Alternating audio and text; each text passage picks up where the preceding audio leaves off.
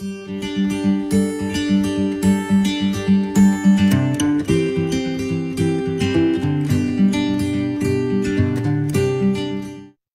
everyone, Chris Lewis from Fox 47's Digital Newsroom. Thanks so much for being back again this week for another Rebound Mid Michigan segment. We're talking about how each of us can work to rebound from COVID 19. And today we've got some great guests. We have Ryan Fewins Bliss and Christopher Tremblay, both of the Michigan College Access Network here. We're going to be talking about FAFSA. For those of you that don't know, that's the free application for federal student aid. And we're going to be talking about financial aid and college. Gentlemen, thanks so much for being here today. Glad to be here. Yeah, thanks for having us. It's my pleasure to have you here. I'm really excited to be able to talk about this because I know that there's a lot of questions when it comes down to financial aid and when it comes down to uh, paying for college in a regular year. We are in different times. And with that in mind, I know that with many people, there are different financial circumstances that they are in now with COVID 19. Parents may be out of work. They may have filled out the FAFSA before. What should they be doing if their circumstances have changed and they're planning to start college in the fall?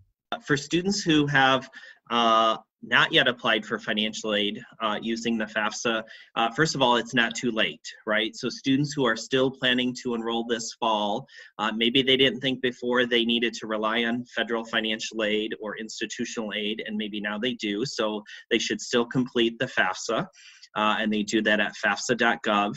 Uh, for students who have applied and their financial circumstances have changed, uh, because the FAFSA is based on 2018 tax data, which is now, you know, one to two years old, uh, students should contact the institution that they're planning to enroll in uh, and ask for their professional judgment process.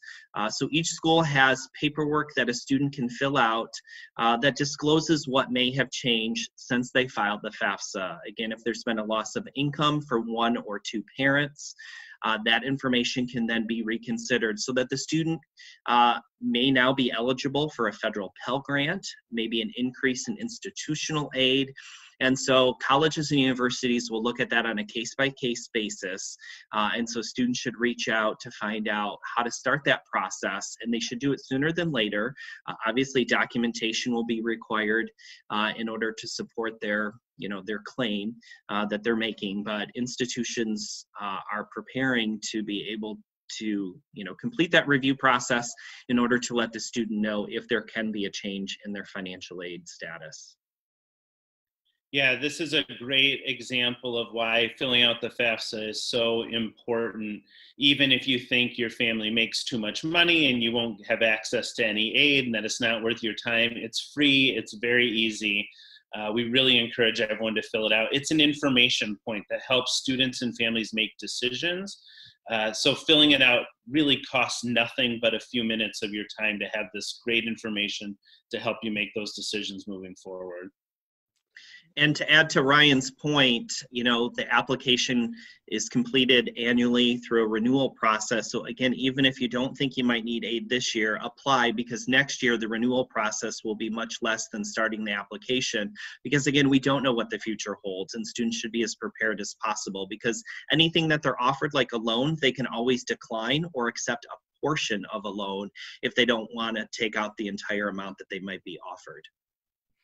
Now, a lot of people are saying that we are headed into a recession, and with that comes more fear and more concern about being able to afford college in general.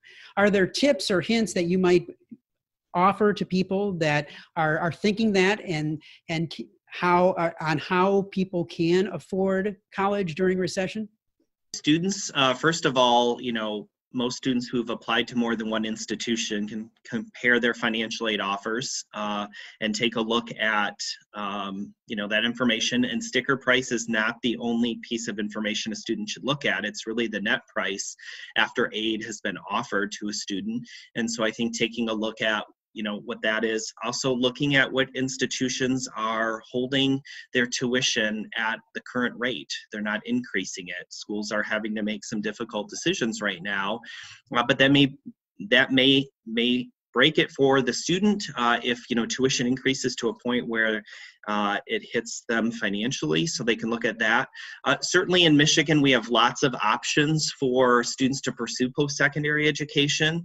Uh, we know that local community colleges offer uh, a different rate uh, and also you know students can live at home so there's certainly plenty of opportunities and students should always explore those opportunities before not pursuing post-secondary education. In fact, you know, they should continue their education immediately out of high school uh, so that they can stay in the mix and be ready so that in four to six years, uh, they can enter the workforce and start supporting themselves uh, and be ready to contribute uh, and, and follow their passions. Yeah, and I think something very simple, Chris, is that students and families should pick up the phone and call their local community foundation. There's almost one in every county in Michigan, and they are just sitting on piles and piles of money that is dedicated to student scholarships. Uh, I just heard recently from, I live in Bath, and the local Lions Club made decisions about their scholarship process, and only seven students applied. Seven students out of the entire community. So there's money to be had. Students and families just aren't necessarily going at it, and they and they don't know about it. So pick up the phone, call the community foundation, and say, hey, what kind of scholarships do you have available? What am I eligible for? And make sure you're accessing that type of aid as well. You know, also as a reminder, most colleges and universities offer payment plans, and so many families could take advantage of spreading their their fall semester payment out over multiple months rather than having to pay it, you know, in late August, early September, when that might still be a burden for many families. Uh, and so they should look into what that option is and and what would that look like when the payment is, you know, spread out. Now, if students or parents have other questions about, about financial aid or about just the college process in general, where would you send them? Yeah, uh, MCAN has uh, organized a free college advising hotline for all students in grades 9 through 12. Students can call or text. Uh, they can access the phone number at micollegehelp.org and that is a free service that we're providing. It's staffed by nearly 100 college advisors who can help students uh, research options for paying for college, complete the FAFSA, connect them to resources at particular colleges or universities that they might be admitted to or thinking about applying to.